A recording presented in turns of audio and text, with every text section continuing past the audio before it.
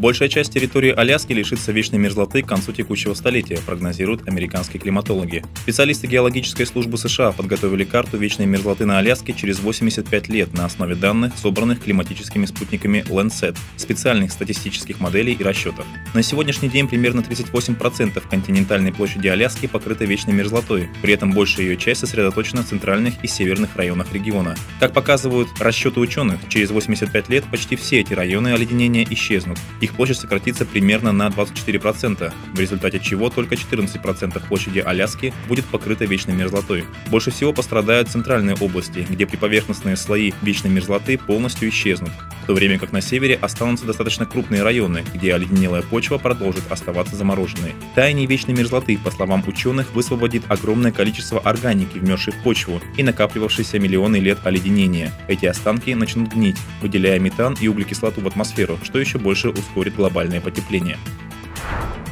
Освоение Арктики остается приоритетом для Северного флота в новом учебном году. Также задачей первостепенной важности станет поддержание высокой боеготовности морских сил ядерного сдерживания и сил общего назначения. Об этом накануне сообщил начальник пресс-службы Севфлота капитан первого ранга Вадим Серга. Временно исполняющий обязанности командующего Северным флотом вице-адмирал Николай Евменов во вторник поздравил военнослужащих Севфлота с началом нового учебного года в Вооруженных силах России, а также подвел итоги работы моряков в регионе. В новом учебном году Северный флот планирует осуществить походы отрядов боевых боевых кораблей и судов обеспечения в Арктику, а также в Средиземное море. В ходе очередного арктического похода моряки продолжат осваивать побережье Северного Ледовитого океана, совершенствуя выучку арктических мотострелковых подразделений на новых территориях. В числе приоритетных задач, стоящих перед Северным флотом на новый учебный год, вице-адмирал Николай Евменов отметил продолжение целенаправленной деятельности по развитию и совершенствованию инфраструктуры в Арктике, а также по поддержанию высокой боеготовности морских сил ядерного сдерживания и сил общего назначения, сказал Серга. Компания «Новотек» начала коммерческую добычу нефти на Ирудейском нефтяном месторождении в Ямало-Ненецком автономном округе. На месторождении пробурено 36 эксплуатационных скважин. Инфраструктура месторождения также включает центральный пункт сбора нефти, нефтегазосборные сети, насосную станцию, нефтепровод и газопровод внешнего транспорта. В пресс-службе компании сообщили, что среднесуточную добычу нефти на месторождении в короткие сроки выведут на проектный уровень, составляющий около 3,5 миллион тонн в годовом исчислении. Последние три года мы быстрыми темпами наращивали добычу жидких углеводородов и запуск Ирудейского месторождения позволит нам сохранить двузначные темпы роста в следующем году, а также окажет существенное положительное влияние на наш свободный денежный поток. Высокое качество ресурсной базы месторождения и применение современных технологий бурения и заканчивания скважин позволили получить рекордно высокие дебиты и обеспечить низкий уровень удельных расходов на разработку и добычу, отметил председатель правления компании Леонид Михельсон. Последние три года компания усиленно наращивала добычу нефти, а запуск Ирудейского месторождения позволит Новотеку сохранить темпы роста в 2016 году. Монумент героям российской Арктики, который увековечит память о людях, связанных с освоением Крайнего Севера и военными действиями у берегов Ямала в годы Великой Отечественной войны, планируется установить в Салихарде. Скульптурная композиция будет представлять собой установленные на монументе фигуры полярного летчика, исследователя и капитана, которые станут собирательными образами людей, посвятивших свою жизнь освоению Русского Севера, внесших значительный вклад в развитие арктических территорий. Памятник дополнится историческими рельефами, отражающими не только знаменательные открытия, но и трагические события, произошедшие в Арктике. Место для установки установки памятника определят жители Ямало-Ненецкого автономного округа путем электронного голосования. На выбор предлагается несколько вариантов. Площадь речного вокзала Салихарда, сквер у Дворца бракосочетания, микрорайон улиц Республики, Зои Космодемьянской, Комсомольской и Малый проезд или район автодрома дороги Салихард, Аксарка. ГТРК «Ямал» объявляет конкурс фотографий всеарктического значения «Я Арктика». Участников ждет специальный приз от информагентства «Арктика Инфо». Для участия в конкурсе нужно сделать креативный снимок на арктическую тему и прислать в редакцию телерадиокомпании, либо сообщением в любой из аккаунтов Вести Ямал, Facebook или ВКонтакте. Фотография обязательно должна содержать хэштег «Арктика». Можно на английском, можно на русском языке. Идею конкурса можно интерпретировать как угодно, рассказал идейный вдохновитель фотоконкурса Иван Васильев. Конкурсные фотографии будут публиковаться на страницах социальных сетей ГТРК Ямал. Оценивать работы конкурсантов будет экспертное жюри. Главным призом в погоне за победой станет фотоаппарат. Обладатели второго и третьего места будут награждены поощрительными призами. Также участников конкурса ждет специальный приз от информационного агентства Арктика Инфо. Фотографии принимаются до 20 декабря.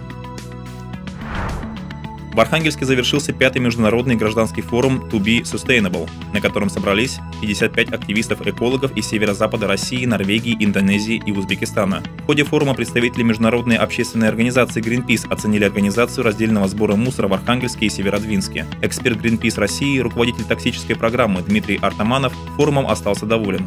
Мы посмотрели, как работают площадки по раздельному сбору в Архангельске и Северодвинске, общались с компаниями, которые их обслуживают и сортируют мусор, провели импровизированный круглый стол с участием представителей мэрии Архангельска и областных властей. Впечатления от увиденного и услышанного хорошие. Мы вообще удивились, что сразу в двух городах Архангельской области уже существует раздельный сбор мусора, при этом организованный разными компаниями, рассказал Дмитрий Артамонов. По его словам, отличие от многих других регионов и городов России в Архангельской области и жители, и представители власти понимают, зачем нужен раздельный сбор. В России есть много городов, даже больше Архангельска, где о раздельном сборе даже не слышали. Сегодня в России перерабатывается от 3 до 5% мусора. Например, в Германии эта цифра составляет 65%. Конечно, большая часть местных жителей еще не понимает важность раздельного сбора, но в странах Европы также начинали с этого. Для старта необходимо 10-15% активного населения, которые начинают разделять мусор сразу после того, как у их домов появляются соответствующие контейнеры. Лет через 10-15 эти действия будут выполнять большая часть жильцов. Естественно, чтобы этого достичь, нужно установить контейнерные площадки для раздельного сбора мусора у каждого дома, считает Дмитрий Артамонов.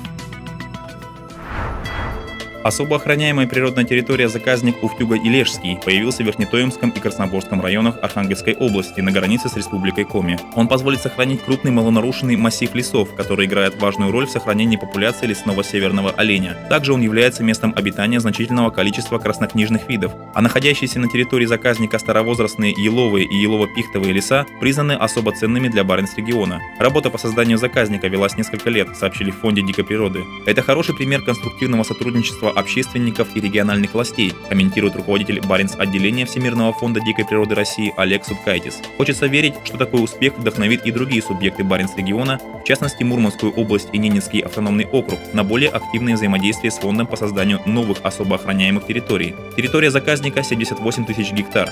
Она защищает верховья рек Уфтюга и Леша, Оса. В ходе научных экспедиций здесь были выявлены популяции редких и уязвимых видов растений, животных, грибов, среди которых дикий лесной северный олень, беркут, филин, белка-летяга, башмачок настоящий, леокорхис, беловатый и уснея длиннейшая.